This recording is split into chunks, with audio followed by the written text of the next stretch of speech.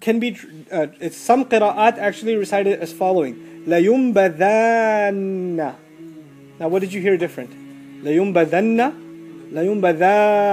It made it longer right? That alif made it appear. Two. Meaning huwa wa maluhu. Him and his money will be thrown. You loved it so much go. Live with it. You never wanted to let go of it right? Okay you won't let go of it ever. You can go get crushed with it together. Subhanallah. Huwa wa maluhu. Now we come to the next ayah. الَّذِي جَمَعَ مَالًا وَعَدَّدَهُ The first thing to explore is what's the connection between these two things? What's the connection between this attribute of heart being hurtful to other people and the second one is de- dedicated to one concept shallow translation the one who gathered wealth and counted it that's the shallow translation so what's the connection between the one who's always critical of people and the one who's gathering wealth when the one who's always gathering wealth doesn't give any of it so gets criticized by the people as being greedy and he doesn't like being criticized and the best defense is offense right so before he can get he can get to hear from someone you should be more charitable, you should worry about there are other things to worry about in life than money. Before he gets to hear that criticism, what does he constantly do? Constantly describing others' flaws, engaged in being humaza or lumaza, or both rather, even even worse, being engaged in both, covering his own flaw of being indulged in his own wealth or own wealth. This is the first thing. The other thing here is remember I said when a person doesn't have a higher goal in life, they get lost in trivial pursuits? Well, one trivial pursuit was the first ayah, finding flaws in people. What's the other trivial pursuit? Gathering wealth and constantly constantly making plans for the future. And these people, they become so narrow-minded when you start worrying about your deen and less about saving your money, you know what they say to you? Think about your future. Right? And the, the ironic thing is, you are thinking about your future. They're the ones who are not thinking about your future. And they're saying, think long term. And guess what? The irony is, they're the ones thinking short term. You know, what are you going to do in the next 10 years? Dude, what are we going to do for the next thousand years in our grave? What's going to happen after we get out? That's long term thinking. this isn't long term thinking. But their minds get wrapped around this, this idea and this becomes their whole worldview. So, and by the way, fil hutama, by using the word fi, يقتضي أنه موضع له قعر عميق جدا كالبئر By using the word fi, he will be thrown in it. It implies that this is a place that is very, very deep. That he'll be thrown way down in, in, a, in a deep ditch. لَيُنْبَذَنَّ بِضَمِّ الذَّالِ It's also been recited لَيُنْبَذُنَّ So there are three recitations. لَيُنْبَذَنَّ لَيُنْبَذَنَّ And then لَيُنْبَذُنَّ هُوَ وَأَنصَارُهُ Him and the people who helped him become this way. So the three interpretations: either he himself, him and his wealth, and then him and his entire posse, his entire social circle. وسميت النار ها هنا بالحطمة and the fire was called حطمة here لأنها تحطم العظام because it crushes the bones حتى تصل إلى القلوب until it reaches the hearts. It's called حطمة because it crushes bones and reaches to the hearts. How do we know it reaches the hearts? إنها تطلع على الأفئدة. That, that's coming. But al-muqada implies it remains lit. It stays that way, it doesn't go down. You know, if, if you know anything about lighting a fire, what happens eventually? It dies out. But by using muqada, Allah made it an endless fire, subhanAllah. التي تطلع على الأفئدة The one that rises up against or makes its way, climbs painstakingly.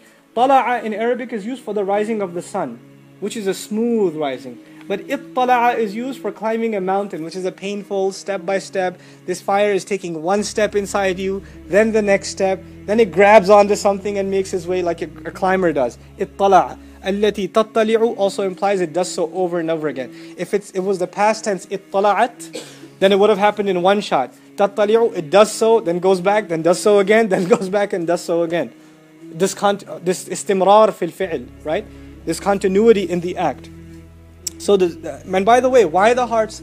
Because the greed, the humaza, the lumaza, the assumption that mal will last forever. Where did all of these crimes take place originally? In the heart. The heart that was overwhelmed against someone else or against their own greed, which was, wasn't even qalb, it was fu'ad. And now that the heart is being burned, it's literally inflamed. So we don't use qalb, we use fu'ad here. Because fu'ad implies a heart that is engulfed in flames. Lahmun fa'id means a, a, piece of flesh that is surrounded by fire. That's what it literally means. And now it's not even fu'ad figuratively, which it is, it's also fu'ad literally. So, التي تطلع على الأفئدة. Allah says, on the day of judgment, nothing will benefit him. ملء الأرض ذهبا ولو افتدى به. Even if he offers the weight of the entire planet Earth in gold and tried to exchange that for his own salvation, gave that away, it wouldn't, it wouldn't benefit him. So what is he so proud of? It doesn't make any sense. And yakun al murad, it can also mean that the meaning here is minhu uh, minhu ta'zim ay malun malan balagha fil khabth wal fasad aqsa nihayat. Also means that alladhi this this uh, uh, of it illustrates that he went and and tried to gather wealth, whether those means be filthy or corrupt. Now compare this to the Muslim mind. The Muslim mind is, you know, you have an old man who's already got a foot in the grave and he's planting a seed in the ground for a tree to grow.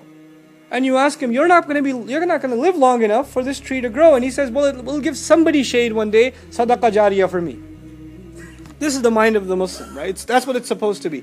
We think about how the future will be benefited, not, you know, live, eat, sleep, drink, and die. That's it. You know, this is the, this is the, the reversal of thought. And that's really, when we read this stuff, we shouldn't just think about what's happening you know, a millennium and a half ago, this is, these are realities of our time. These are, these are serious problems of our time. And unfortunately, just because we're Muslim doesn't mean that we haven't been engrossed in the deepest depths of the black greed of capitalism. We ourselves have become really nasty capitalists ourselves. And we don't think about the greater good and serving society and building the kinds of institutions, right? We've become people of Allah, May Allah protect us from it and get us out of this mess. So the first ayah is dedicated towards his attitude against others, and the second is his occupation for himself. What is he occupied with himself? Interestingly, know that what is expected of the human being is the exact opposite. You are supposed to be the best to others, and you're supposed to not keep wealth for yourself, but be giving. What is expected of you is the exact opposite of the behavior being described. So addada, to count and place, to count over and over again, to, to keep track of the count. And it can be also be it can also be, like I said, associated with preparation, preparing for future need. That's a deep question to ask. When you ask, you know, why do you want money to a child, they say, I don't know. I might want something later. right? But ask yourself the difficult question why does humanity run after wealth? If the food is on the plate today, you stop worrying about today, you start worrying about tomorrow. In other words, akhlada doesn't just mean eternal life. It means that which will continue to sustain him endlessly. In other words, he's worried that if he doesn't have savings, he will he or she will cease to exist. You know, people become suicidal when there's when their stock account, you know, it drops, right? Their investment accounts went to zero and they became suicidal because they associated surviving with savings. Not with food they have right now, but the food they were saving for tomorrow. This is part of the meaning of akhlada. He doesn't just think he'll live forever, but he thinks that his future needs, this is from ikhlad, from khulud, his future needs are taken care of because he or she has savings, because they have these savings. So, this, uh, and, and by the way, this, this is tied to the idea of building monuments. You know, people, they want to be known for things, and one of the things people get known for uh, is wealth. And you know, at, at, the end of people's lives, if they don't believe in an afterlife, they don't give it in sadaqah, they give in their own form of sadaqah. They'll donate to a charity or to a hospital, to a university, so a monument will be named after them. Right? So this is the only thing of them that will live on. So they're making their wealth a means by them to which by, by means of which they can live on through these empty monuments, this rock and metal or whatever is used to make those monuments. This concept is also dis- uh, talked about in the Quran. When the nation of Hud is mentioned, Allah Azza wa says, وَتَتَّخِذُونَ مَصَانِعَ لَعَلَّكُمْ تَخْلُدُونَ تَخْلُدُونَ You make statues so you can live forever? What does that have to do with living forever? No, their name, their legacy, their memory will live forever. Is this your reason for building these unnecessary monuments? His quest, his desire for eternity, for living eternally.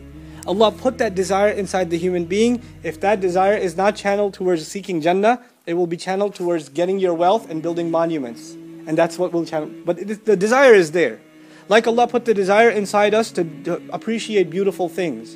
And if you don't appreciate the beautiful recitation of Quran, you will become obsessed with music. The desire is there, but it's just got it's going to get channeled. It's going to go in one direction or the other. You understand? So that's what we're learning here. So the people who don't, and by the way, this is the comment of one of my teachers, Dr. Israr Ahmed. He said about this uh, this surah. He said that there are two tempt, two temptations of dunya. It's money and children usually that are talked about in the Quran, right? At-takathur fil amwali wal awlad. Obviously, this surah is, is talking which one? Mal, not awlad. And he made a comment about that, just his own observation. He said, In my own life, I have noticed the people who don't have children, they become even more obsessed with wealth. If they don't have kids, then you, if you have kids, you have two concerns. But if you have, don't have kids, you become overly concerned with wealth and counting money. And if you tell people who don't have kids who become overindulged in wealth, why don't you have kids? What's the number one reason they give you? wealth. I don't know if you can afford it. I don't know if, you know, we have enough for ourselves. We don't know if we have enough for a child. It might cramp our style or our, you know, our, our future plans, etc. So now in tafsir of this, يحسب أن ماله أخلد طول المال أم له؟ the wealth will increase his false hopes. وَمَنَّاهُ الْأَمَانِيَ الْبَعِيدَ And it will give him wishful thoughts or, or fortify his wishful thoughts that are far away. حتى أصبح لفرط غفلته وطول أمره until it becomes a means by which he gets deeper and deeper into his heedlessness and extends his false hopes. يحسب أن ماله تركه خالدا He assumes his wealth will leave him remaining في الدنيا لا يموت in this world as though he won't die.